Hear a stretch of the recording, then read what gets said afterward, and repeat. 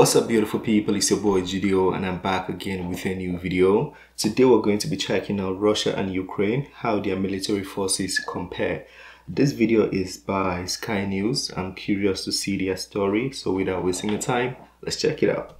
How capable are Ukraine's armed forces against Russia's today? Let's take a look.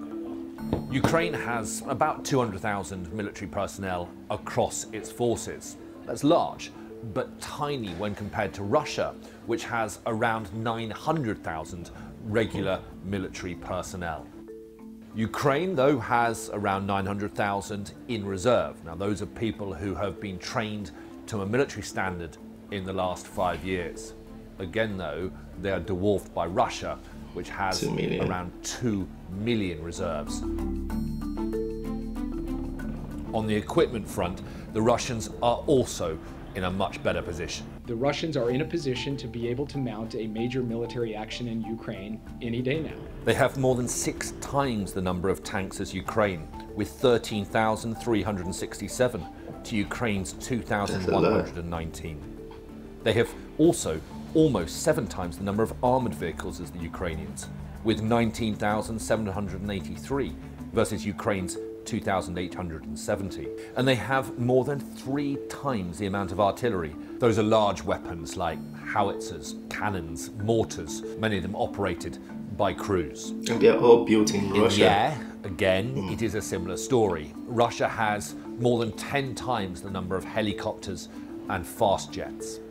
The Ukrainians do have times. over 400 surface to air missile launchers that could target aircraft, although this is still only a tenth of the number possessed by Russia. And Russia has an anti aircraft missile system that many analysts say is the best in the world the S 400. NATO call it the Growler. It uses long range missiles to destroy airborne targets with a 400 kilometer radius. And it gives Russia a defense system against foreign aircraft. Hmm. Those are the big boys right there. Russia's military dominance over Ukraine is greatest at sea. Even from all what we've seen, where it's like 10 times, 5 times more, 4 times more, and then sea is like the greatest dominance. So imagine what it's going to be. When Russia invaded Crimea, it captured most of the Ukrainian fleet. And so Russia now has 74 warships and 51 submarines. Hmm. And There's even a lot for other countries. Conflict. Russian warships have launched cruise missiles from the Caspian Sea against Islamic State targets in Syria. Hybrid warfare is something that Russia has mastered in recent years and would almost certainly be a factor in any conflict with Ukraine. So cyber attacks, for example, targeting Ukraine's national infrastructure.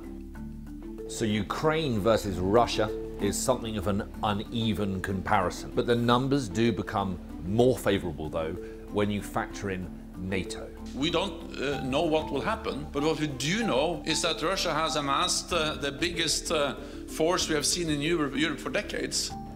NATO has said that it will not send in ground troops yeah. to defend Ukraine. I just Ukraine want peace, is not man. a member of NATO. Instead, they are giving assistance at arm's length.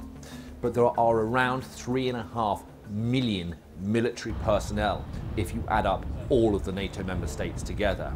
And so NATO against Russia in military terms is a far more even contest.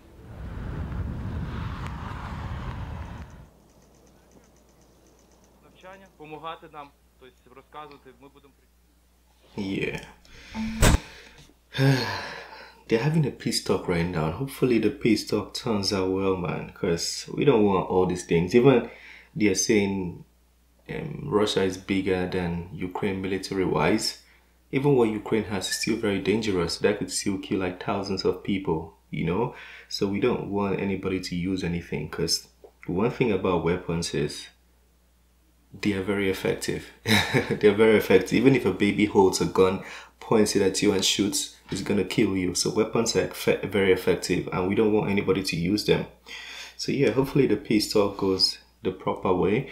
Let me know what you guys think of that video. If you want us to bring more like this to the channel, feel free to let me know in the comment section. This is the end of this video. Don't forget to smash the like button and subscribe if you're new to the channel. I'll see you on the next one. Have a wonderful day. Peace.